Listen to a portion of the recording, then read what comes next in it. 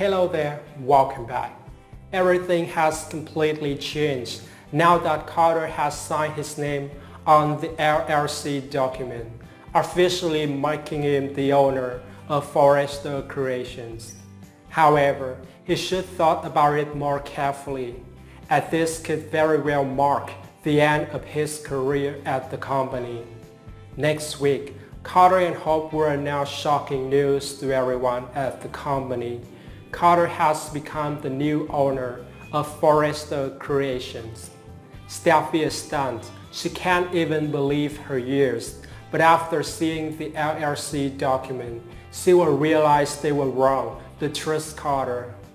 Ray trusted Carter deeply, treating him as a member of the family. But Carter has betrayed him. Steffy quickly pieces together that Hope was the one who pushed Carter to do this and discover that they are romantically involved. Finally, Steffy understands why Carter has changed so much and why he always defends Hope. It turns out he has fallen for. Steffy believes that Hope is manipulating Carter to turn against her family so she would try to convince Carter not to trust Hope.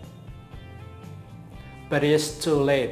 Hope is now Carter's girlfriend, and of course, he trusts her completely.